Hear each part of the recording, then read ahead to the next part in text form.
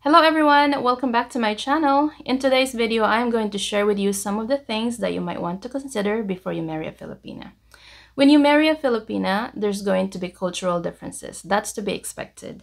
And some of these differences will actually strengthen your relationship. But some of these differences might cause some issues and problems within the relationship. So it's good to know what they are. And at the end of the day, it's all about how you approach and how you, handle those differences.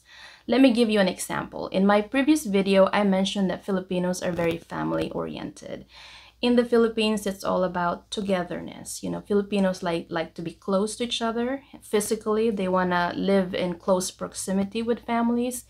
And families are always welcome in each other's household. So there's really no need for invitation for a family member to come over. They will always be welcome if they come. It doesn't matter what time of you know the day.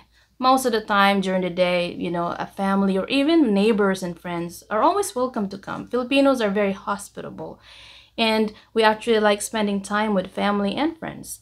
Here in the us there's a little bit of a difference. Americans also love their families. They also love spending time with families but Americans also put a lot of importance on privacy. It's all about privacy, respecting someone's space, and respecting someone's time.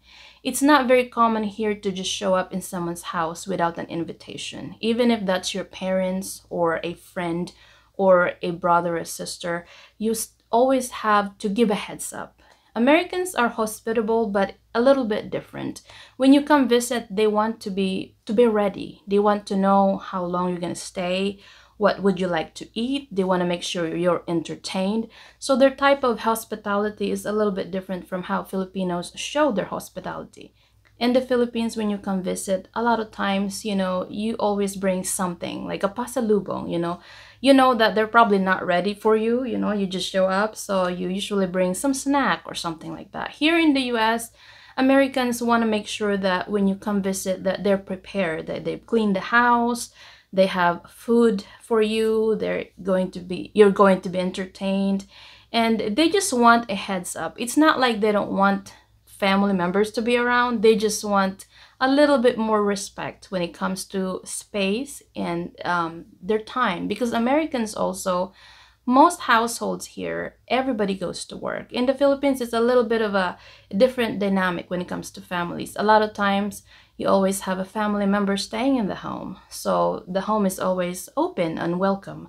But here a lot of times there's nobody left at home. So it's always good to give a heads up. So those are very minor difference but it's good to discuss them. And, you know if you come across that kind of situation especially if you decide to move to the philippines you're gonna live there.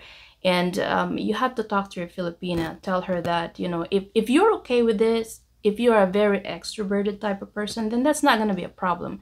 But if you're introverted you're you know you like your space you have to discuss that with her ahead of time. So everybody can make adjustments. At the end of the day it's all about compromise.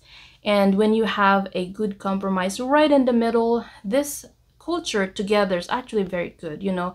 It's always good to be close to family but it's also very important to respect you know each other's privacy. It doesn't matter how close of a family you are there always has to be some type of boundary. So it's good to discuss those things. So that's just a very minor example of the cultural differences. There are many more but i don't want to make this video too long. Or maybe we could talk about that on a separate video. Another thing that you might want to consider before you marry a Filipina is your financial situation. And this is a big thing.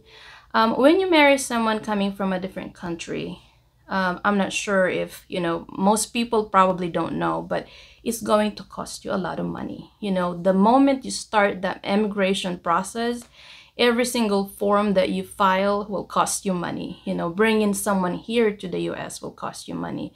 Even if you decide to settle in her country, you're still gonna have to have some type of, you know, income to where that to where it's going to be able to support you both.